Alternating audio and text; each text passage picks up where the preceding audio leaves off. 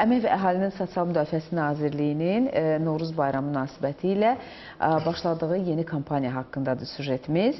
Bu kampaniya Dost Xonçası adlanır və müxtəlif qurumlar, hətta adi vətəndaşlar belə kampaniyaya qoşula bilərlər. Bu e, gözəl bir bayram xonçası hazırlanır, Dost Xonçası və tək yaşayan ağıl, yəni bayram günlərində onları sevindirmək məqsədi ilə onlara qonaq gedilir və bu xonça ilə onları sevindirməyə, yəni bayramlaşmaq anlayışı yenidən bax belə e, kampaniya çərçivəsində yeni həyat alır. E, bu dəfəki e, demək bu dəfə e, həmin kampaniya çərçivəsində e, Məryəm xanımı sevindiriblər. E, sujet o barədədir, gəlin baxaq.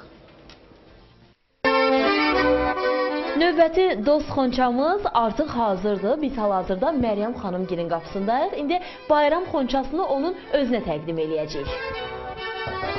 Qonağı olduğumuz Məryəm Axundova hazırda tək yaşayır. Onun yeganə övladı olan Əşrəf İskəndərov 1999-cu ildə Tərtər rayonunda şəhid olub.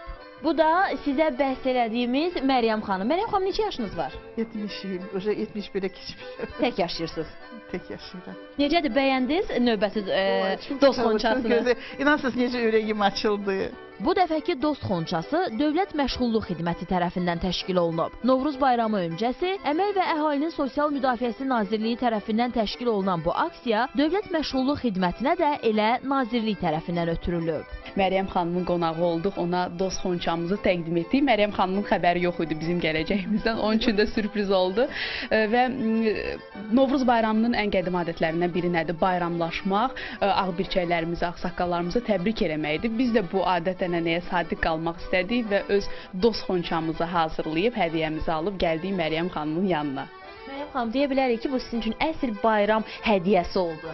Bəli, həm mənim üçün bilirsiniz necə mən bir gözlənilmədən oldu. Bu birinci uğur, adamı sevindirir adamı, sürpriz kimi oldu. İkinci də ki şiriniyetdir də xoşbaxt olasınız.